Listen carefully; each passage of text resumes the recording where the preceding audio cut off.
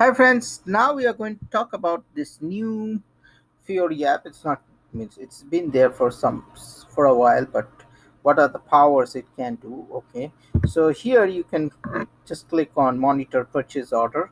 So here you get the look and feel of a wonderful, you know, dashboard or whatever that every uh, SAP customer wanted to have someday, and now it's it's resolved using Fiori.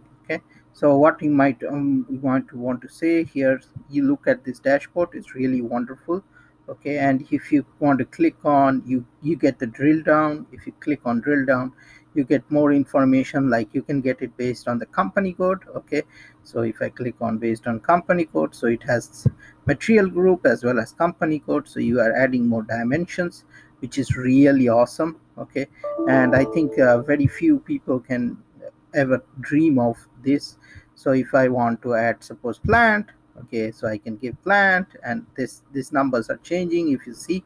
So now here these these are some of these features. Now here you can click on settings and you can add different dimensions okay?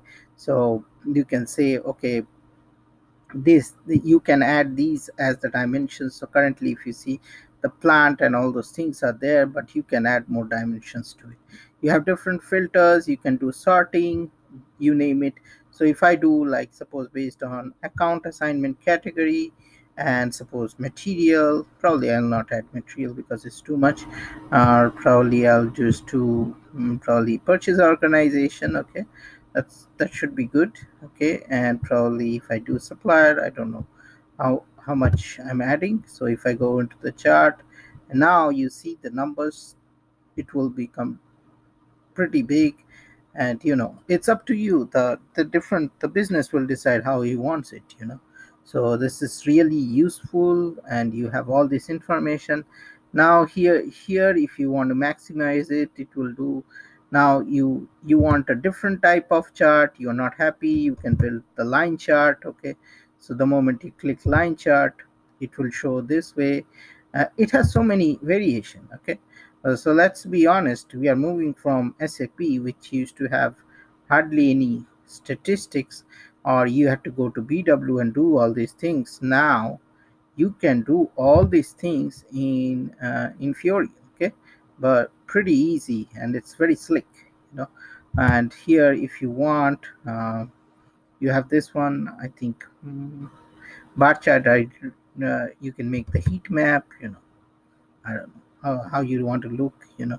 So these are different flavors okay? So here you can just click on it. If i click on it probably it will give me all the information related with this particular material. So you you you have it all ready okay?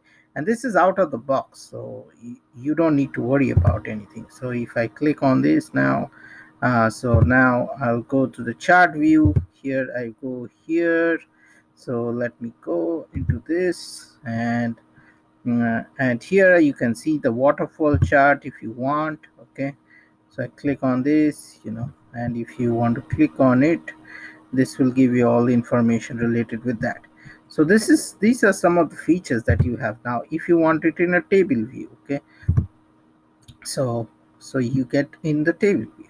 So these are very very useful stuff you have. And now if you want to visual uh, visualize the filter and all those things you know all fancy stuff you can do. And of course after you have done all your magic or whatever you have you can export to an excel.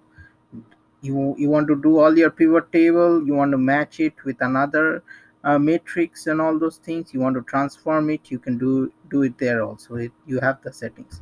So here we click on the settings and you can add more features okay which is really wonderful and now here if you want to share it you can always share it okay? So i click on share and i can create it as a tile or something like that okay? Save as tile. So if i click a save as tile i can say monitor uh, po okay? And here i'll just give some description.